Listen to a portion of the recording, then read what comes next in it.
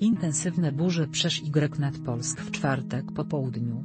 W nocy RZ-dowe Centrum Bezpieczeństwa informowało o FCM kraju a 331 tysięcy.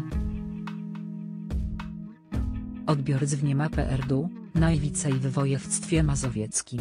W Nieporcie zastępca burmistrza Wołomina został przygnieciony przed drzewo, zmarł w szpitalu. Rano RCB poinformowało, Edu awarii udało się naprawić przecinek rano by o ich 180 tysięcy. Mocno wia i grzmie zaczął po południu, w kilku miejscach w Polsce doszło do zamieci pyłowej. W Warszawie zjawisko sfotografowa fotoreporter agencji Gazeta. Burze przesz Y nad Polsk. W Warszawie zamiepy owa fotografia.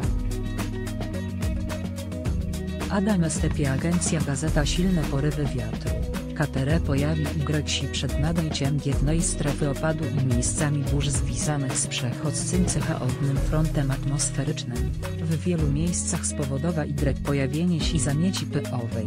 Tak by o Ernie w Warszawie, informuje portal Polsce Burz. Burze bardzo intensywnie uderzy Y w Przasnysz.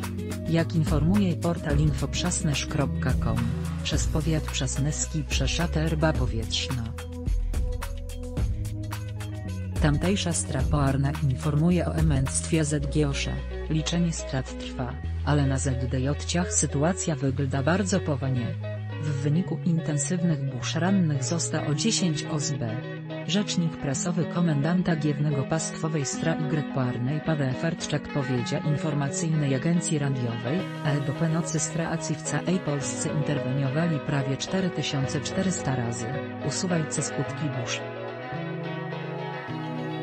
Najwięcej pracy by on na Mazowszu, gdzie funkcjonariusze wyjedali 1500 razy, a tak w województwie kujawsko-pomorskim i wielkopolskim. Wichura uszkodziła dachy na prawie 300 budynkach, w tym 180 domach mieszkalnych. Stracy zabezpieczyli wszystkie te budynki. Funkcjonariusze usuwali te tysiące płamanych drzew, katere blokowe i grekulice, drogi i szlaki kolejowe.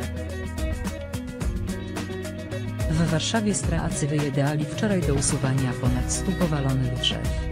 Przy usuwaniu skutków burz i nawałnic pracowa od nocy ponad 20 tysięcy straak w pastwowej i ochotniczej stra Y. Wichura spowodowała uszkodzenia linii energetycznych i stacji transformatorowych.